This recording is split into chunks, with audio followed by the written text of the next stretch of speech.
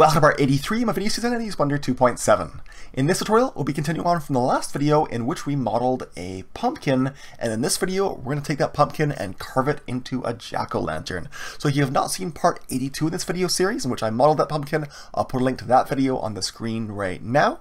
But in this video, you can actually go ahead and download that pumpkin that I created in part 82 if you didn't want to follow along with that entire video.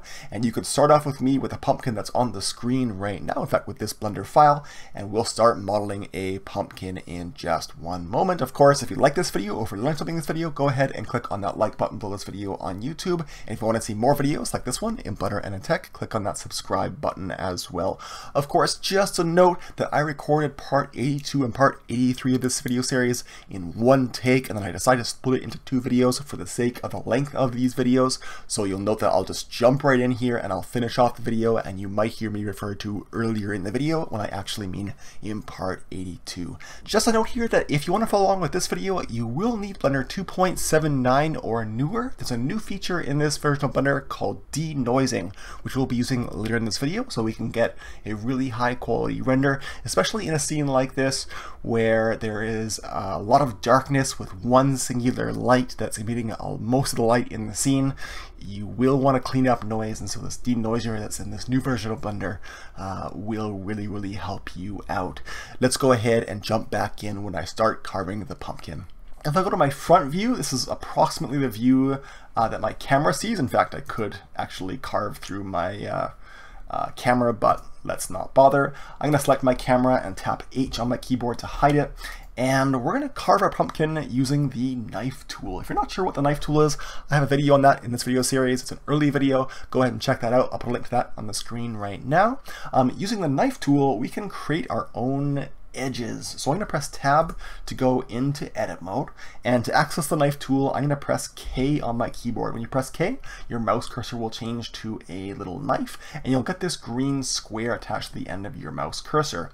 I can start clicking and creating and cutting new edges. So I'm going to go start up here. I'm going to create just simple triangle eyes. So I'll click there and there and there and I'll connect up uh, to my first point right there. You'll see your uh, square turn to an outline square. So when you click, you'll know it's a finished cut. Now I could press enter, but I'm gonna press E instead. E will make a new cut uh, while still in the knife uh, tool mode. So now I can click over here. We'll create a second eye. And I like that. It's a little bit smaller and more crooked. Let's go ahead and press enter, uh, but that's okay. I'm gonna start creating the mouth, so I'll tap K again to get back into the knife tool. I'll start up here, I'll click, and I'm gonna do this very quickly. And I'll go ahead and press enter. So now I've got my two eyes and my uh, mouth, but I'm gonna add some teeth. So I will press K one more time. I'll start clicking, I'll do this very fast. Alright, so we have our two eyes and our mouth with teeth. I want to select all the faces that I don't want or I want cut out and delete them. So I'll press C on my keyboard to get that circle select back and I'll scroll up or down depending on your computer uh, so we get a smaller brush. And now if I left click and drag, I can make a selection. And of course, if you go outside the lines, you can press your mouse wheel down like a button or middle click, and that will take away from your selection. So left click selects, middle click and drag uh, deselect. So I'm going to go ahead and select uh, and I'll click to select this entire eye. I'll keep going. I'll select this eye as well. And I'll select the mouth, making sure I don't get the three teeth that I selected and cut out uh, selected. If I make a mistake, well, I can just middle click to deselect. And let's do this very quickly. All right, so we have all three pieces selected. I'm gonna go ahead and press enter because I'm still in circle select mode. Uh, and now that I'm out of it, let's go ahead and press uh, delete or X on my keyboard and we'll delete faces because we selected faces. So X and delete faces. And as you can see now, I have my face cut out. Uh, isn't it uh, special? Hopefully you do a better version than me. And I would love to see your final results on my Facebook page. I'll talk about that at the end of the video uh, if you decide to follow along with this video. So we have a jack-o'-lantern or a pumpkin with a face cut out of it. The problem here though is that there is no thickness. There is no uh, inner lip or wall inside of the pumpkin and there's no inside so we need to fix that. The way we can easily add an inside and thickness to our pumpkin is using a modifier called the solidify modifier. So I'll go back into object mode and I'll go back to my wrench modifier tab and we're going to add a third modifier but I'm going to collapse these ones just so we can see them just in one line. I'm going to add a third modifier to our modifier stack and that's going to be called um, solidify. It's under generate solidify. And as you can see, once we add that, we have an inside to our pumpkin, but more importantly, we have thickness and we can change the amount of thickness right in the options. So we're gonna just click and drag that up. And as you can see, we get a thicker wall uh, going inwards into the middle of our pumpkin. Of course, there are lots of options here. We can change the offset to make the pumpkin um, become bigger actually, or if you turn it down to negative one, it'll stay the same size and go inwards. Um, but we have some problems here, and the problems are to do with our cuts. We now have very messy geometry.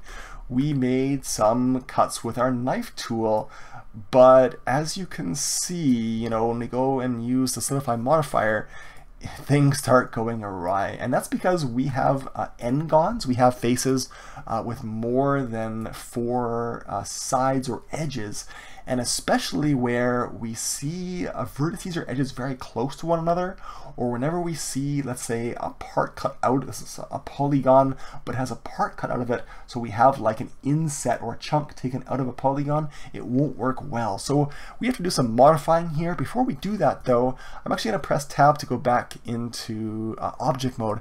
I'm gonna add one more modifier, and that's called the edge split modifier. So I'm gonna add modifier in object mode to the pumpkin, add modifier. It's going to be called edge split. It's under generate, it's right there. And what that will do is it'll sort of look for all the hard edges um, in my pumpkin, which should be just basically where I've cut out. And it'll make those uh, kind of artificially broken apart so they look like a, a stronger edge.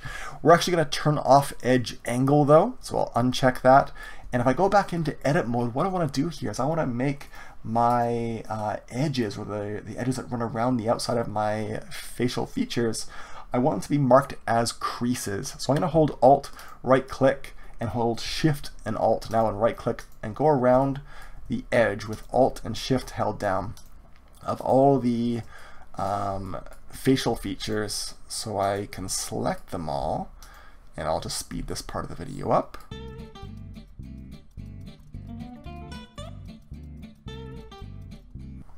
Okay, so I think I have all the edges selected. Uh, if not, I can always go back and, and, make corrections. But with them all selected, I'm going to press Control uh, E on my keyboard. Control E will bring up the edges menu, and I'm going to select Mark Sharp. Mark Sharp is what that edge split modifier over there will recognize, sharp edges. So again, Control E and Mark Sharp, and they should get marked with sort of a aqua colored uh, edge, especially if I press A to deselect, you can see.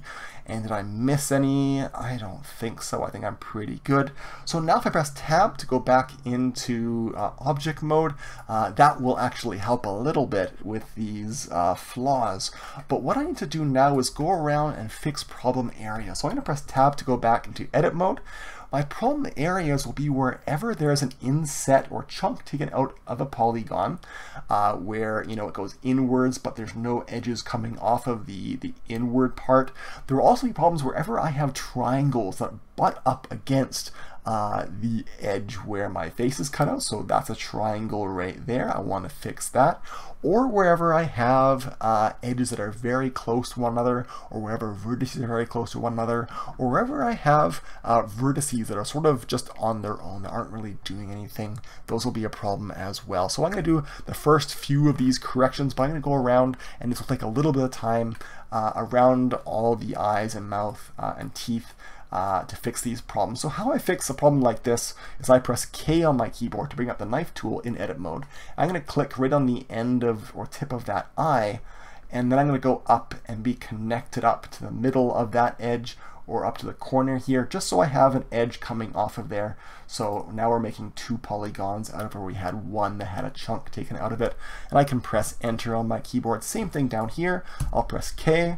I'm going to connect that up And same thing down here, but I'll tap E to start making a new cut, and I'll click and click and I'll press enter. Now I have a triangle right here and I'm going to get rid of it actually by selecting this edge right there. And if I press X on my keyboard, I can dissolve that edge. So I'm going to select dissolve edge. And what that will do is it will take that triangle and merge it with this uh, quad, this four-sided polygon. So now we don't have any triangles left.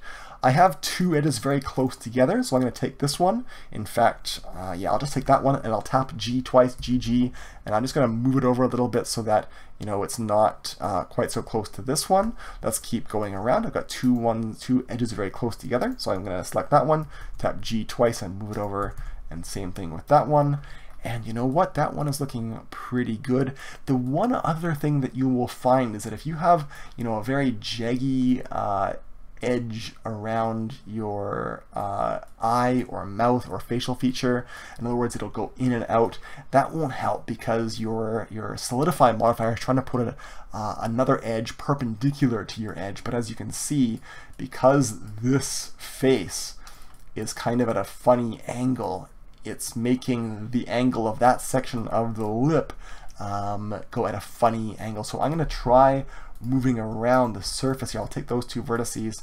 Uh, in fact, I'll maybe take that whole face and I'm going to go to my top view and kind of move that so it's more uh, in line and hopefully that'll help solve that error. Maybe I'll take this one and just move it uh, up a little bit and over a little bit uh, just so that things look a little bit more even. So now if I go back into object mode, you can see we don't have the same kind of errors that we have over here. So I'm going to speed up this part of the video. Uh, it'll be really quick. I'm going to go around and solve those same sorts of issues and I'll be back in just a sec.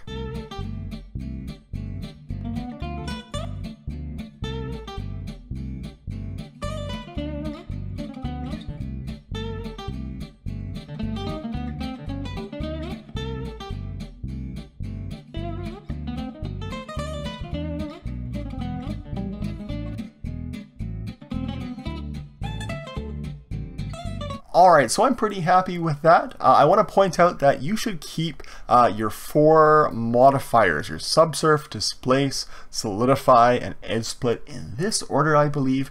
Uh, let's go ahead and try moving them around a little bit. If I move my subsurf to after or uh, below my displace modifier, you'll see uh, that you might get a little bit of change. In this case, we totally lost the bumpiness, so I'll go ahead and move subsurf up to the top, which means it's applied first. Can we go ahead and add edge split before solidify? Uh, that I'm not sure. No, we get a, a worse result. Uh, you'll see that these become much more uh, jaggy, or the lip becomes much more jaggy uh, if we have edge split in, in front of or before uh, solidify. So keep them in that order. And let's go back to material view so we can see how things are doing here. As you can see though, we have our pumpkin, it's looking good, but the inside material should be different. It's a lighter material, it's not as glossy, so how can we do that? Our inside is virtual, this lip is only there, and the inside surfaces are only there because of the solidify modifier, but in the solidify modifier, we're actually able to uh, specify an offset for the material, so we can specify a different material for the inside faces as well as the rim faces. Now, on this object though, we only have one material. It's called material.001.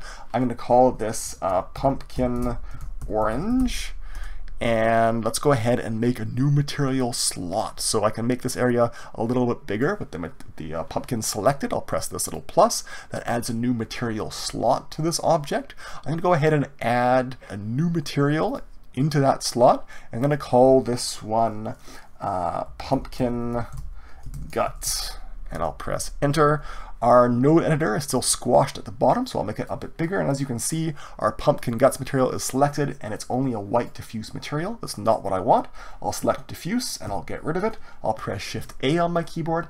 I'm gonna add a subsurface scattering uh, material. We want this material to be very porous, so light easily bounces around in it and lights it up. So I'll go ahead and connect uh, that up to surface and it's white. We'll leave it like that for a sec because back over here under our wrench tab for the modifiers, if I had the pumpkin selected, I can now change where we have the zero and, and computer start counting at zero always. So this is material zero, this is material one in this list, uh, top down from zero onwards.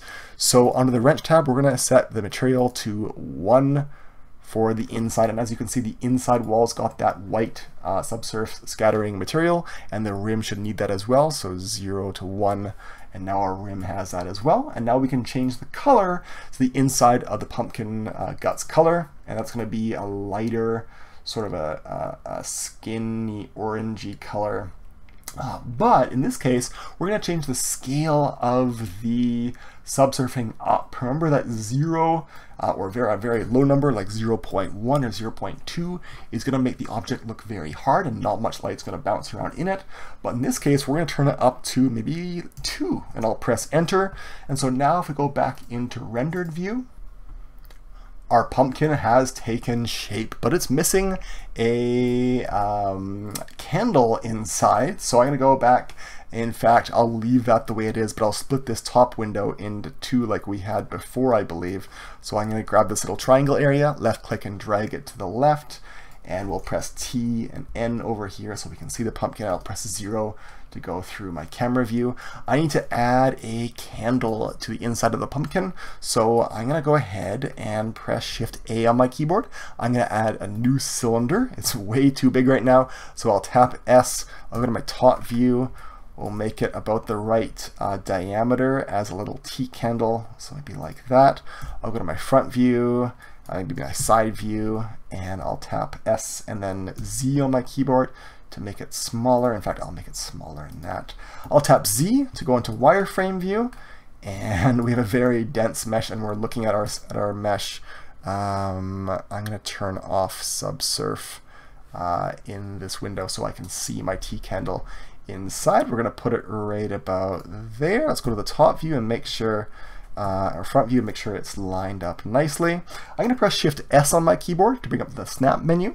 I'm going to select cursor to selected. My 3D cursor will go right there. I'm going to press Shift uh, A on my keyboard. We're going to add a new mesh. It's going to be a UV sphere and this UV sphere is going to be our flame. So I'm going to tap S on my keyboard to make it really small.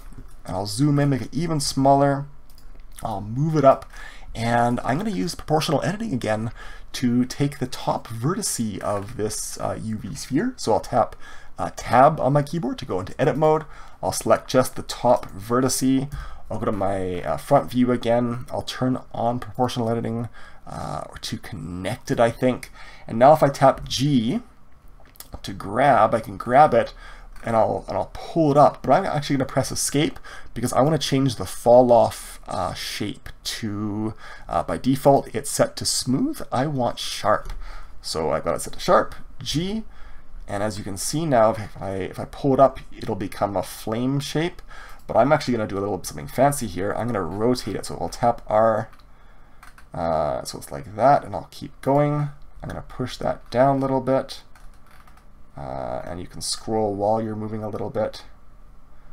And I'm going to tap G again. I'm going to make that smaller, move it up there, and I'll tap R.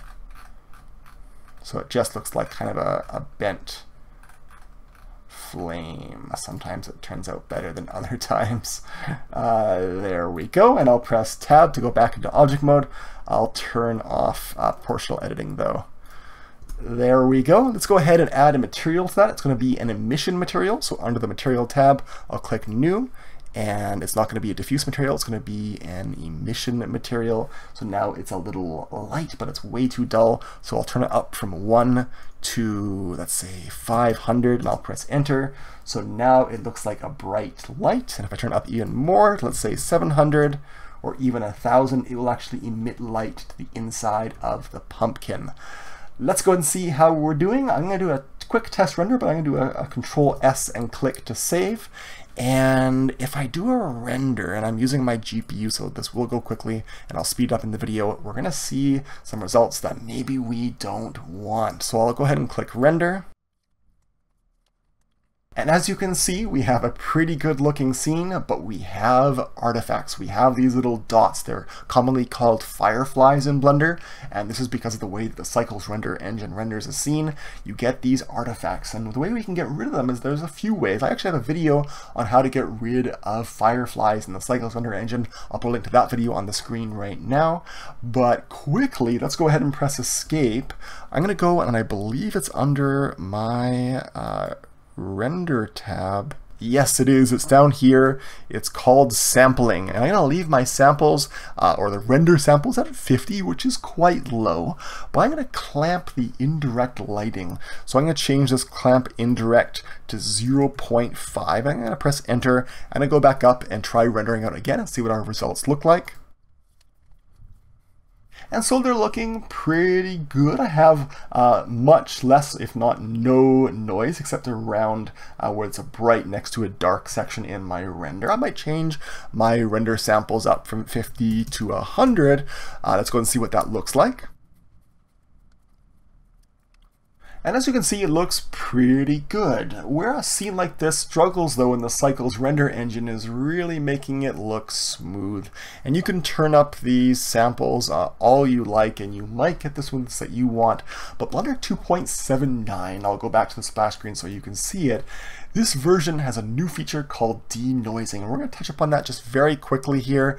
Uh, I believe it's under the, this is called the Render Layers tab. There's a new section with a checkbox called denoising, and if I check that and re-render, it's going to smooth out my render a whole lot, which is really a saving grace if you're rendering with a CPU and you have a slower computer. Rendering takes a long time. With this option, you can now render out with many fewer samples. Again, samples are under the sampling section right there, render samples. You might render as low as 20 or 30 or 40 or 50 samples, but if you use under the render layers tab, uh, denoising, you might get much smoother, nicer results. I'm going to change these settings a little bit though.